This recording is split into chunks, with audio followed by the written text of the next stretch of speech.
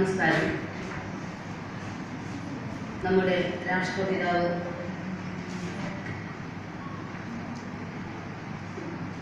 രാഷ്ട്രപിതാവിന്റെ നൂറ്റൻപതാം ജന്മവാർഷികവുമായി ബന്ധപ്പെട്ട് ഒരു വർഷം നീണ്ടു നിൽക്കുന്ന പ്രഭാഷണ പരമ്പരയിലെ രണ്ടാം ഘട്ടമാണ് ഇന്നിവിടെ നടക്കുന്നത്.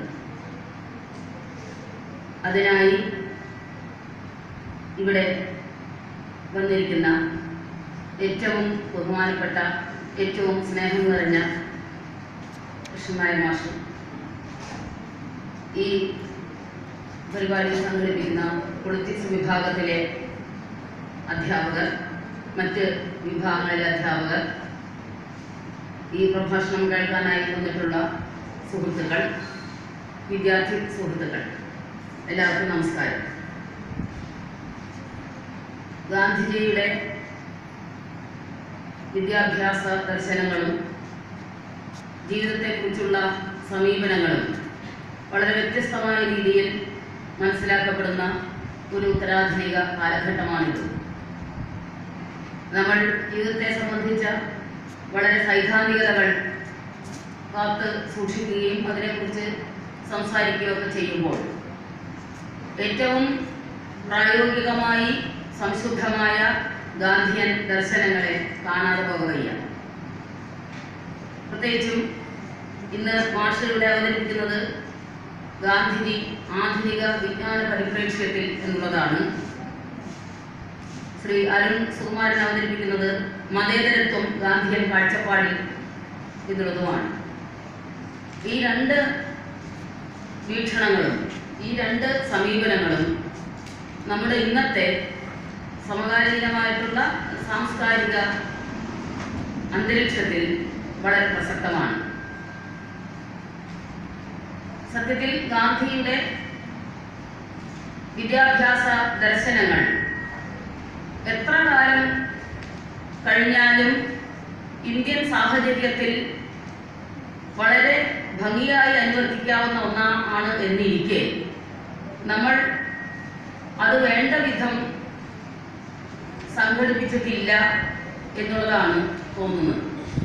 ഗാന്ധിയൻ വിദ്യാഭ്യാസ ദർശനങ്ങളുടെ പല ഘടകങ്ങളുണ്ട് പല പ്രധാനപ്പെട്ട തലങ്ങളുണ്ട് അതിൽ ഏറ്റവും പ്രധാനപ്പെട്ടതായി എനിക്ക് തോന്നുന്നത് അദ്ദേഹം കുലത്തൊഴിലുകളെയും അല്ലെങ്കിൽ കൈത്തൊഴിലുകളെ ഏറ്റവും ഭംഗിയായി പരിരക്ഷിക്കാൻ ശ്രമിച്ചുകൊണ്ടുള്ള ഒരു ജീവിതായോധന രീതിയെക്കുറിച്ച് അദ്ദേഹം സംസാരിച്ചിരുന്നു എന്നുള്ളതാണ്.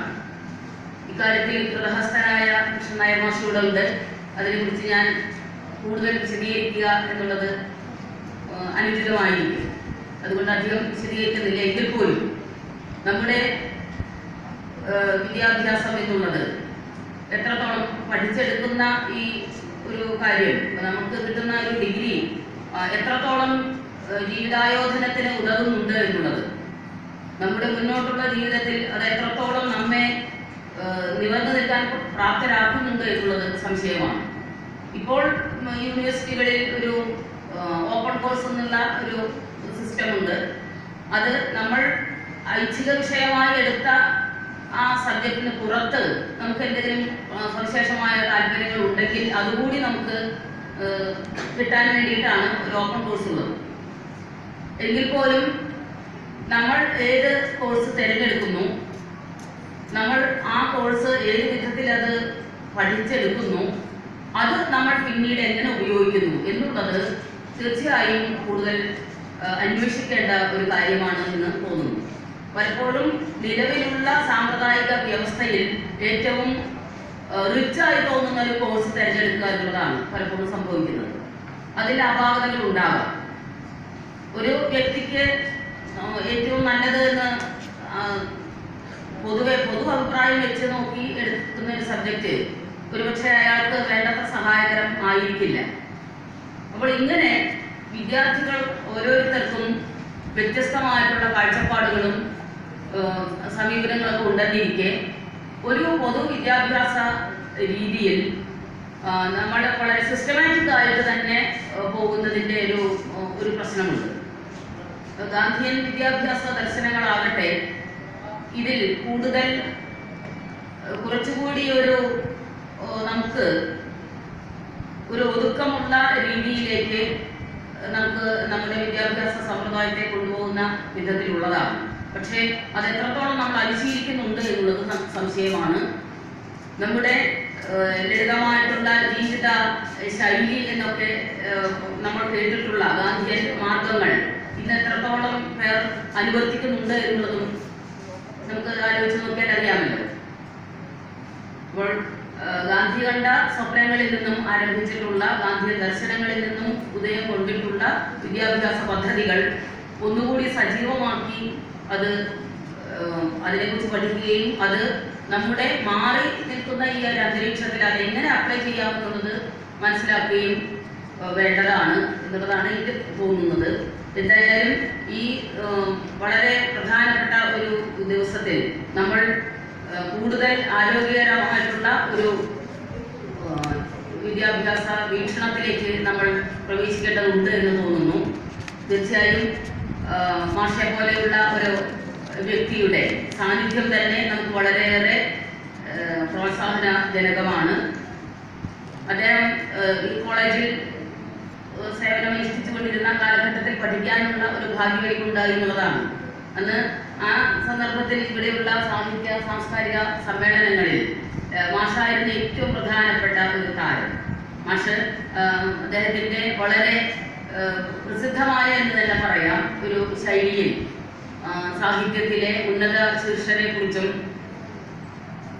ഒക്കെ പറഞ്ഞിരുന്ന ആ വാക്കുകൾ ഞാൻ ഞങ്ങളൊക്കെ ഓർക്കാറുണ്ട് ഇപ്പോൾ അപ്പോൾ മാഷിന്റെ പ്രഭാഷണം വളരെയേറെ നമുക്ക് മാതൃകാപരമായിട്ടുള്ള ഒരു രീതിയിൽ നമുക്ക് കുട്ടികൾക്ക് അത് പ്രത്യേകിച്ച് കുട്ടികൾക്കും അധ്യാപകർക്കും നമുക്ക് എല്ലാവർക്കും വളരെ പ്രയോജനപ്പെടുന്ന ഒന്നാണ്. പിന്നെ ഒരു പറച്ചിലെ ഒരു തെറ്റ് റെയിമോൾ വരുത്തിയ തെറ്റ് ഒരു അഞ്ചാറ് വർഷങ്ങൾക്കുള്ളിൽ അരുൺ സുകുമാരൻ അത് സാധിച്ചെടുക്കണമെന്നാണ് എനിക്ക് പറയാനുള്ളത്. വളരെ നല്ല ഒരു രീതിയാണ് ഇവിടെ കാണുന്നതെന്ന് എനിക്ക് പറയാൻ ഞാൻ ആഗ്രഹിക്കുന്നുണ്ട്. കാരണം ഒരു സംവാദം എന്നുള്ളത് നവീനമായിട്ടുള്ള കാഴ്ചപ്പാടുകൾ കൂടി പകർന്നു കിട്ടുന്ന ഒരു സംവാദ വേദിയായി കേരള ഓർമ്മയിലെ ഇത്തരത്തിലുള്ള പ്ലാറ്റ്ഫോമുകൾ മാറുന്നത് വളരെ സന്തോഷകരമാണ്.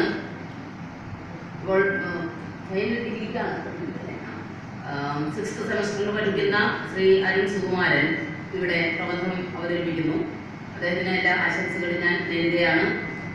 ഈ പ്രോഗ്രാം ഏറ്റവും ഭംഗിയായി സംഘടിപ്പിക്കുന്ന പൊളിറ്റിക്സ് വിഭാഗത്തിലെ അധ്യാപകരോടും ഞാൻ എന്റെ ആശംസകൾ അറിയിക്കുന്നു. ഇവിടെ വന്ന് ഈ പ്രഭാഷണം നിർവഹിക്കുന്ന കൃഷ്ണനായ മാഷോടുള്ള അദ്ദേഹവുമായ നന്ദിയും സ്നേഹവും ഞാൻ രേഖപ്പെടുത്തിക്കൊണ്ട് എന്റെ വാക്കുകൾ അവസാനിപ്പിക്കുന്നു.